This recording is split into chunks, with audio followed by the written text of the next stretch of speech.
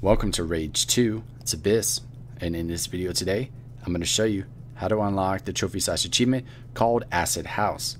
Now in order to unlock it, you need to complete the Torn Plains race under 3 minutes and 3 seconds.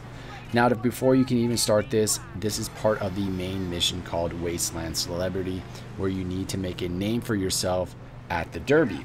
Now there's only two laps that you need to complete, and there's seven other cars that are on this track but for the most part, I would try to memorize the track if you're having trouble and use your boost as much as you can possible, either on straightaways or, you know, if you kind of get off road, you want to use it to just get yourself back on track.